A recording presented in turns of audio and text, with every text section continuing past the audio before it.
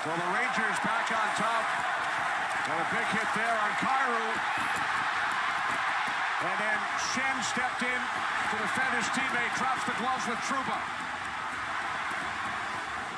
It looked like a good, clean hit by Trouba, but he caught Kyrou and Schenn steps in to fight it. Trouba's done a lot of this this year. And it ends up on the bottom there, but he has had a heck of a season for the New York Rangers.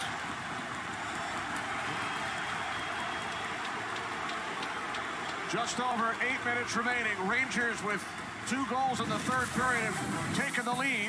Here's the hit by Trouba on Kyrou. And then Schenn comes over and they drop the gloves. Barbashev with a quick little cross check and then Schenn comes in and engages.